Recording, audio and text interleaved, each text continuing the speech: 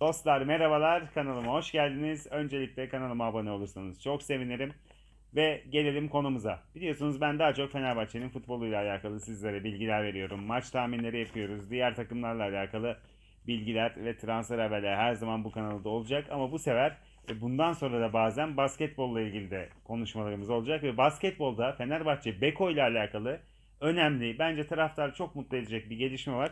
Ben bu gelişmeyle alakalı sizlere birkaç cümle etmek istiyorum. Biliyorsunuz Fenerbahçe Alex Perez'i aldı ve kötü giden takıma bir takviye yaptı ki oyuncu sakatlandığı için daha kadroda da göremedik. Yakın zamanda kadroya da alınacak biliyorsunuz. Beko da iyileşti. Fenerbahçe'nin ama çok çok bence taraftarı heyecanlandırması gereken bir hamlesi olacak. Ama bu şu an mı olacak yoksa bu sene bitiminde mi olacak onun çalışmaları yapılıyor. Ben o ismi söyleyeyim size. O isim son iki ayın Türk basketbolunda en çok heyecan verici oyuncusu diyebileceğimiz isim Alperen Şengün. Biliyorsunuz Alperen Beşiktaş'ta forma giyiyor. En son milli takımın maçlarında da çok çok hakikaten herkesin çok beğendiği bir isim oldu.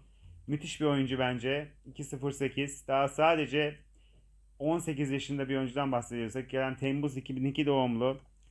Müthiş bir isim. Bu tek süt bandırmadan Beşiktaş'a gelen bir isim genç kardeşimiz. Hakikaten şu ana kadar bildiğim kadarıyla e, araştırdığımda 20.3 sayıyla oynuyor Türkiye Basketbol İNG Basketbol Süper Ligi'nde ve 10.2 rebound. Yani müthiş bir istatistikle oynuyor. Maçlarını da izlerseniz hakikaten çok dominant bir oyuncu. Yani Mehmet Okur'dan sonra Ömer Aşık vardı rahatsızlandı. On, onlar dışında böyle uzun forvet, uzun rotasyonunda bu kadar dominant bir oyuncuyu hakikaten hasretti basketbol.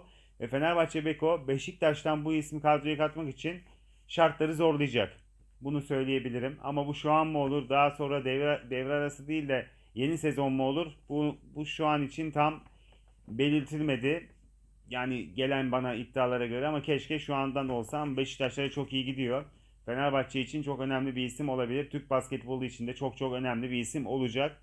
Fenerbahçe Beko dediğim gibi Alex Perez'den sonra bir isim daha kadroya katabilir Şutor Forvet İspanya Ligi'nden. Onu da belirtmiş olayım size. Fenerbahçe Beko'da değişimler, gidenler de olabilir. Ama Veseli Barcelona iddialarını çok duyuyoruz ama böyle bir iddianın ben kaynakları yani birçok isimle konuştum. Böyle bir şeyin şu bu sezon olma, olmayacağını da size net bir şekilde söyleyebilirim. Ama net söylüyoruz. Fenerbahçe'nin gündeminde Beşiktaş'ta yıldızı parlayan 2002 doğumlu genç kardeşimiz Alperen Şengün var. Diyeceklerim şimdilik bu kadar. Kanalıma abone olursanız sevinirim diyorum.